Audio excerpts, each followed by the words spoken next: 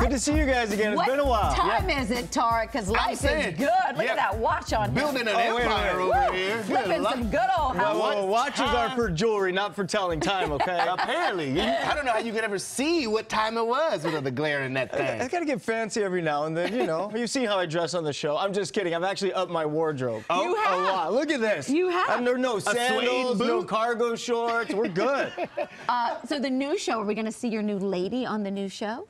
You know what? You are. So Heather Rae Young actually did a cameo in one of the episodes. So you're gonna see her and I filming together. She's actually here right now backstage, and uh, I'm super excited about it. We're what, eight months in? We are officially eight you months told. Scott and me. Do you remember that day you hadn't even talked about it yet? I know. When, when I met you, when we first got together last time, and I Yeah. talked about our relationship, we had just been dating two weeks. Yeah. Like we didn't really even know each other yet, but we were so in love. And now we're like eight months later. Yeah. We've traveled the world together. We've been to Paris, we've been to Amsterdam, we've been to Vegas, we've been to Napa. Like we've done it all. Good for you, brother. Thank and you. how are the, your daughters liking her? How are your kids liking Oh, her? my kids adore Heather. You know, it's like, it's just such a nice feeling as a dad to have a family again, and the kids love her, and she loves them, and it's what I've always dreamed guy. of. You know? Yeah. I mean, it's like we're a cute little family. You know? I love it. Uh, speaking of the new show, you're, you're literally jumping in, helping people hopefully avoid some of those big mistakes with their first flip. What would you say is hands down the most common thing you see with first time flippers? Ooh, two things. One, they paid too much for the house. Just because the house is junky doesn't make it a good deal. Mm. You have to pay the right price. And two, they don't understand the importance of your timeline. Construction, if it takes too long or if you have a bad crew, you can lose a lot of money in carrying costs. So those two things cause a lot of people to like honestly go bankrupt.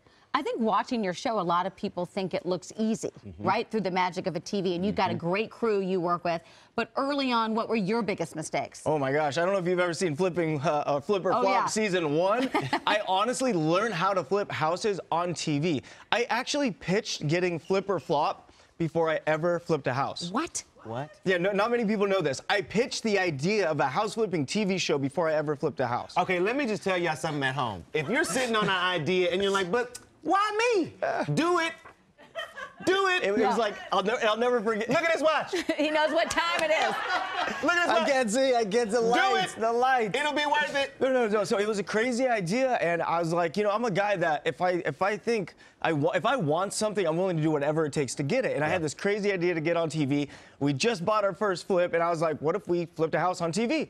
So I learned how to flip houses on TV. When you watch the old episodes, you cringe a little bit, or what does that feel Oh, like? I, I cringe. Like people don't get it back then. They're like, oh, you used to dress like a bum. Like you wore sandals. You never changed. I was like. I was I was literally trying to learn how to. I didn't care what I looked Totally. like. Right, right, right. I was like, you think I cared about how my makeup looked or my hair looked? No, I was trying not to go broke. We've talked about it before, uh, but you you worked with your ex-wife and mother of your kids, and you said this time around you've learned a lesson that you would maybe not work with your significant other, but she's already made a cameo. Are you sticking to that this time around, or what? When did I say that? You said you learned the lesson, Uh, you can't listen to everything I say.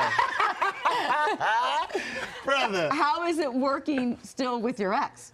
Uh, you know, we've been working together a very long time, and it's just strictly business. We get there, we do our job, and um, we we understand the importance of our relationship and how it affects the kids and Yeah. how it affects the show.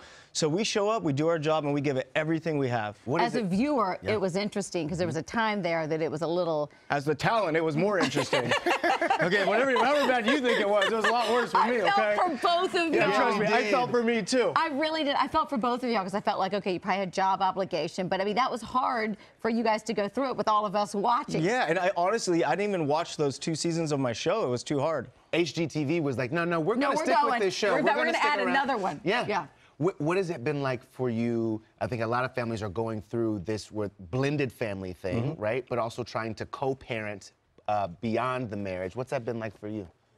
You know, I like I I mean I've said it so many different times, but as long as you keep the kids as the top priority, Yes. every single decision is based around what's best for the kids, you can't go wrong, in my opinion. Yeah. So the second me and her start arguing or we start fighting, everything falls apart. So we get along great. We don't argue, we don't fight, and we're always on the same page. Here's what I love. Uh, we highlighted your bachelor pad. We love where you were living. How's that going with Heather moving in? Because you had quite the pad going. Look how stunning, Yeah, Scott. rest in rest in Is peace. she allowed to bring anything in? Oh, did you already move out of that one? Um, no, but we will be soon. We're, we're looking for a new house right now. Really? So buy, buy bachelor pad. Oh, is wait. that hard to say goodbye to? Yeah, is, is it, it- or is it really easy to say goodbye to because you might be getting engaged soon? What?